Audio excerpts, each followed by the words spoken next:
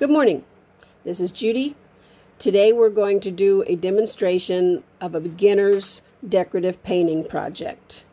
I'll give you all the things you need, the supplies, and show you step by step how it's going to be done. Doesn't take long and you can have a successful first painting. First thing we're going to do is I'll show you what we're going to paint and the things we're going to need to do that with.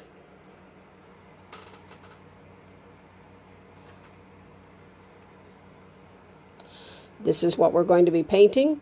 It's a little uh, refrigerator magnet and we're going to um, this is on a piece of wood. We're going to do it on a piece of paper just to show what it would look like, and we can do it a little bigger that way.